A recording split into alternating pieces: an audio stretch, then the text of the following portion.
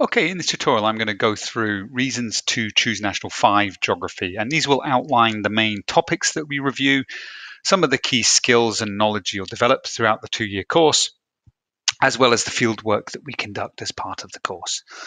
So, um, in terms of what you learn, it, National 5 Geography is arranged into a series of topics and we study um, two global issues. The first global issue is to do with climate change, uh, both the causes, consequences, and solutions of this global issue. And the second global issue that we study is disease or health, as the topic is known. We look at the spread of a variety of diseases across the world, why certain diseases are more common in some parts of the world than others, and what we can do to solve a variety of different diseases. Those two topics make up the Global Issues unit. We also look at what's called Physical Environments unit, which looks at two major themes. The first one is how the natural world is actually formed through large scale processes like ice ages that have shaped large areas of our planet, creating glacial landscapes. And we specifically look at the Scottish landscape as a product of the last ice age. The second major landscape that we explore is what is happening around the edges of the land. And we look at a lot of detail in coastal landscapes and how the, sh- the sea shapes and forms this particular part of the United Kingdom. The final area of the physical environments unit is looking at the weather and how it is actually created and why it changes from season to season and from day to day and we look at a variety of different issues that are currently affecting the weather and why the weather is in um, is in flux, especially linking some of the ideas here to the topic climate change.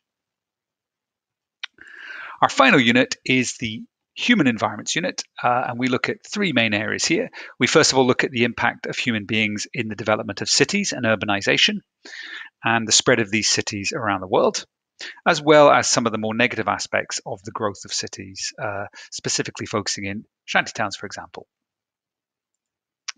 Uh, the second topic we look at within this unit is the rural environments, looking at rural geography and food production, specifically focusing on a lot of the changes that have happened in the last 20 years or so, both in the developed world and in the developing world.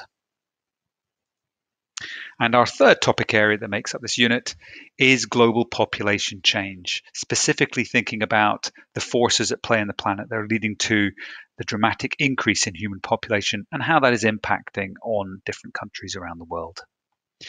So these units combined make up the geography course, but clearly there is a, a, wide range of interactions between all of the units.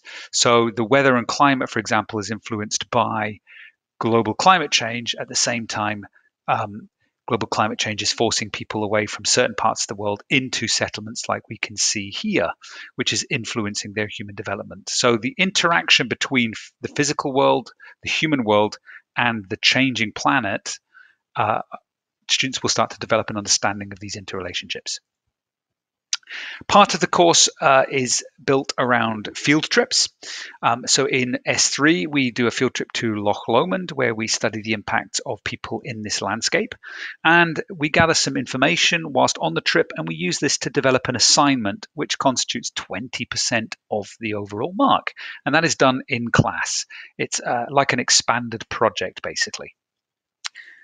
Our second field trip is in S4 and it surrounds the urban geography topic. We take a trip to Glasgow and we study urban changes, visiting the old abandoned dockyards, the city centre, as well as looking at the issue of urban sprawl and the spread of the city around the uh, edges.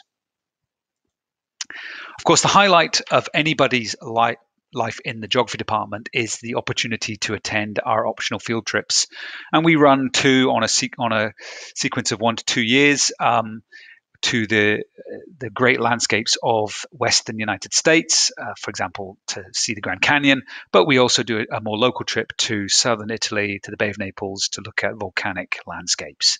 And they are purely optional, but obviously students studying geography um, are given the opportunity to join these trips. So that makes up the uh, National 5 Geography course, and hopefully you've now got a bit more detail about the course. If you have any specific questions, I would encourage you to contact your teacher.